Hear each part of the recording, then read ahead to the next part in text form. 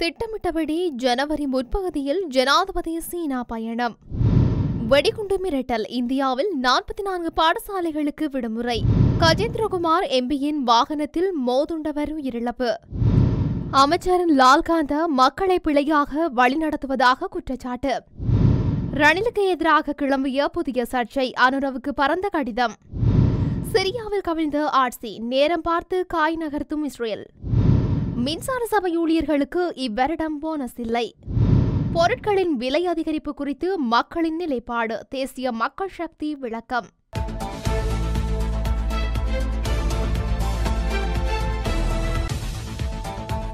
ஜனாதிபதி அனுரகுமார திசநாயக எதிர்வரும் பதினாறாம் திகதி டில்லி செல்லவுள்ள நிலையில் இந்திய பிரதமருடனான இருதரப்பு சந்திப்பின் போது புதிய அரசாங்கத்தின் கொள்கைகள் பற்றி தெளிவுபடுத்தியுள்ளார் என தெரிய வருகின்றது இந்திய விஜயத்திற்கு பிறகு ஜனவரி முற்பகுதியில் சீனாவுக்கு பயணம் மேற்கொள்ள ஜனாதிபதி அனுர திட்டமிட்டுள்ளார். முதலீடுகளை ஏற்பது இடைநிறுத்தப்பட்டுள்ள அபிவிருத்தி திட்டங்களை மீள ஆரம்பிப்பது கடன் மறுசீரமைப்பு தொடர்பில் இவ்விஜயத்தின் போது அவதானம் செலுத்தப்படவுள்ளது எனவும் தெரிய வருகின்றது அத்துடன் டெல்லி மற்றும் கொழும்புக்கிடையே இடையில் கைச்சாத்திடப்படவுள்ள புரிந்துணர்வு உடன்படிக்கைகள் தொடர்பில் இந்திய அதிகாரிகளுடன் கலந்துரையாடப்பட்டு வருகின்றது என்று வெளிவிவகார அமைச்சர் விஜிதஹேர தெரிவித்துள்ளார். குறிப்பாக மின்சக்தி துறையில் இந்திய முதலீடுகள் பற்றி கூடுதல் கவனம் செலுத்தப்பட்டுள்ளது.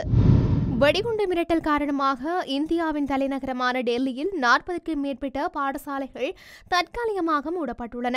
நேற்றிரவு இன்று காலையும் மின்னஞ்சலூடாக வெடிகுண்டு மிரட்டல்கள் விடுக்கப்பட்டுள்ளதாக இந்திய ஊடகங்கள் செய்தி வெளியிட்டுள்ளன. டெல்லியில் உள்ள நாற்பத்தி நான்கு பாடசாலைகளுக்கு வெடிகுண்டு மிரட்டல் கடிதம் வந்துள்ளதாக தெரிவிக்கப்படுகின்றது. இதனால் இந்திய போலீசார் இவ்விடயம் தொடர்பில் விசாரணைகளை ஆரம்பித்துள்ளதுடன் இன்று காலை பாடசாலைக்கு வந்த சிறுவர்களை உடனடியாக வீட்டுக்கு அனுப்பி வைத்து சோதனைகளை ஆரம்பித்துள்ளதாக தெரிவிக்கப்படுகின்றது. போலீஸ் அதிகாரிகளுக்கு மேலதிகமாக தீயணைப்பு வீரர்கள் வெடிகுண்டு செயலிழப்பு பிரிவுகள் மற்றும் போலீஸ் நாய்களும் பயன்படுத்தப்பட்டுள்ளதாக இந்திய ஊடகங்கள் செய்தி வெளியிட்டுள்ளன. அகில இலங்கை தமிழ் காங்கிரசின் யாழ் மாவட்ட நாடாளுமன்ற உறுப்பினர் கஜேந்திரகுமார் பொன்னம்பலம் பயணித்த ஜீப் வண்டி வெண்புவல பகுதியில் பாதசாரி ஒருவரை மோதியதில் பெண் பாதசாரி உயிரிழந்ததாக வெண்புவ போலீசார் தெரிவித்துள்ளனர். சம்பவத்தில் எழுபது வயதுடைய யாசகம் செய்யும் பெண் ஒருவரே இவ்வாறு உயிரிழந்துள்ளதாக போலீசார் தெரிவித்துள்ளனர். நேற்று பிற்பகல் கொழும்பு புத்தளம் வீதியில் போலவத சந்தையில் இடம்பெற்ற இந்த சம்பவத்தில் படுகாயமடைந்த பெண் வைத்தியசாலையில் சேர்க்கப்பட்ட பின்னர் உயிரிழந்துள்ளார் சம்பவம் தொடர்பில் எம்பியின் சாரதியான அறுபது வயதுடைய நபர் கைது செய்யப்பட்டு நீதிமன்றில் ஆஜர்படுத்தப்பட்ட பின்னர் பிணையில் விடுவிக்கப்பட்டுள்ளார். அரசு என்ற முறையில் பயிர்களை சேதப்படுத்தும் விலங்குகளை கட்டுப்படுத்த உரிய நடவடிக்கை எடுக்காமல் மக்களின் கைகளில் விழுவதை ஏற்க முடியாது என சுற்றுச்சூழல் நீதி மையத்தின் சட்ட ஆலோசகர் ரவீந்திரநாத் தவேரா தெரிவித்துள்ளார். விவசாய அமைச்சர் கேடியின் கருத்துக்கு பதிலளிக்கும் போதே அவர் இதனை தெரிவித்துள்ளார். இரண்டாயிரத்தி இருபத்தி நான்கு டிசம்பர் ஐந்தாம் தேதி நாடாளுமன்றத்தில் உரையாற்றிய லால்கந்த விவசாயிகள் தமது பயிர்களை சேதப்படுத்தும் விலங்குகளை எவ்வாறு கையாள்வது என்பதை தீர்மானிப்பதில் சட்ட ரீதியிலான தடைகள் எதுவும் இல்லை என வலியுறுத்தியிருந்தார். இந்த நிலையில் அமைச்சரின் கருத்துக்கு எதிர்ப்பு தெரிவித்துள்ள தபார அமைச்சரின் கருத்துக்களில் உள்ள சட்ட குறைபாடுகளை எடுத்துரைத்துள்ளார். உதாரணமாக இலங்கையில் விலங்கினங்கள் மற்றும் தாவரங்கள் பாதுகாப்பு கட்டளைகள் சட்டத்தின் கீழ் யானைகளுக்கு விசேட பாதுகாப்பு வழங்கப்பட்டுள்ளதாக அவர் வலியுறுத்தியுள்ளார். இதன்படி பயிர் சேதத்திற்கு பதிலடியாக யானைகளை கொலை செய்வது கண்டிப்பாக தடை செய்யப்பட்டுள்ளது. மயில்களும் பாதுகாக்கப்பட்ட இனமாக பட்டியலில் சேர்க்கப்பட்டுள்ளன. எனவே மயில்களை கொல்ல எந்த சட்ட விதியும் இல்லை என்று தபேரா குறிப்பிட்டுள்ளார். எனவே தொடர்புடைய சட்டங்கள் மற்றும் விதிகளை புரிந்து கொள்ளாமல் வெளியிடப்படும் இத்தகைய அறிக்கைகள் தங்கள் பயிர்களை சேதப்படுத்தும் எந்த விலங்குகளையும் கொல்ல சட்டப்பூர்வ உரிமை உள்ளது என்று மக்கள் தவறாக நம்புவதற்கு வழிவகுக்கும் என்று சுற்றுச்சூழல் நீதி மையத்தின் சட்ட ஆலோசகர் ரவீந்திரநாத் தபேரா தெரிவித்துள்ளார். அத்துடன் விலங்குகளை துன்புறுத்துவதற்கு மக்களை தூண்டுவதை விட பிரச்சினையை தீர்க்கக்கூடிய நடவடிக்கைகளை ஆராயுமாறு தபாரை அரசாங்கம் வலியுறுத்தியுள்ளது. எந்தவொரு நியாயமான காரணமுமின்றி முன்னாள் ஜனாதிபதி ரணில் விக்ரமசிங்க தேர்தலை ஒத்திவைத்தமையானது கூட்டு ஊழல் மற்றும் அரசியல் கருக்கலைப்பு என சுதந்திர மக்கள் சபை தெரிவித்துள்ளது.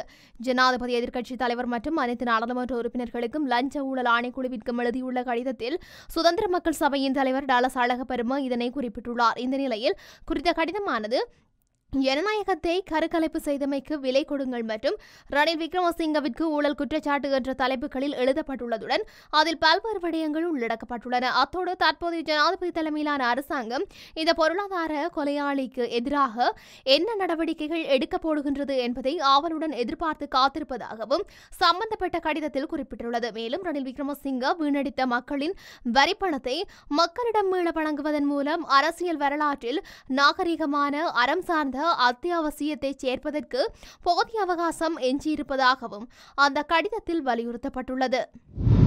சிரியாவின் முக்கியமான மலைப்பகுதிகளான கோலன் குன்று பகுதியை இஸ்ரேல் கட்டுப்பாட்டில் கொண்டு வரப்பட்டுள்ளதாக சர்வதேச ஊடகங்கள் செய்தி வெளியிட்டுள்ளன. ஆயிரத்தி தொள்ளாயிரத்து எழுபத்தி நான்கில் சிரியாவுடனான போர் நிறுத்த உடன்படிக்கையின் போது கோலான் மவுத் பகுதிகளில் சிரியா வசம் வந்தது. ஐம்பது வருட காலமாக நிலவி வந்த சிரிய ஜனாதிபதி பஷர் அல் ஆசாத்தின் ஆட்சி கவிழ்ந்துவிட்டு சரியாக சிரியா தற்போது கிளர்ச்சியாளர்கள் கட்டுப்பாட்டில் இருக்கின்றது. கடந்த நவம்பர் இருபத்தி ஏழாம் தேதி தான் கிளர்ச்சியாளர்கள் அரசுக்கு எதிரான போரை அறிவித்தனர். கிட்டத்தட்ட பத்து நாட்களுக்குள் இவர்கள் அங்கே முக்கியமான நகரங்களை கைப்பற்றியுள்ளார்கள். எச்டிஎஸ் மூத்த தளபதி lieutenant Han Hasan Abdullah Hani இது தொடர்பாக கூறுகையில் எங்கள் நடவடிக்கைகள் டமாஸ்கின் வீழ்ச்சியை உறுதி செய்யும். நாங்கள் செல்கின்ற வழியில் இருக்கும் பிணை கைதிகள் அரசு இத்தனை காலம் அடைந்து வந்து இருந்த கைதிகளையெல்லாம் விடுதலை செய்து வருகின்றோம் என்றுள்ளார். இந்த நிலையில் ஆசத் ஆட்சி கவிழ்ந்துள்ள நிலையில் இஸ்ரேல் சிரியாவை ஆக்கிரமிக்க தொடங்கியுள்ளது. இதன் மூலம் முதல் கட்டமாக சிரியாவின் முக்கியமான மலப்பகுதிகளான கோலன்குன்று பகுதியை இஸ்ரேல் கட்டுப்பாட்டில் எடுத்துள்ளதாக அறிவிக்கப்பட்டுள்ளது. இலங்கை மின்சார சபை ஊழியர்களுக்கு மேலதிக கொடுப்பனவு வழங்குமாறு தொழிற்சங்கங்கள் விடுத்த கோரிக்கைக்கு இலங்கை மின்சார சபையின் பணிப்பாளர் சபை அங்கீகாரம் வழங்கவில்லை என இலங்கை மின்சார சபையின் ஊடக பேச்சாளர் தெரிவித்துள்ளார்.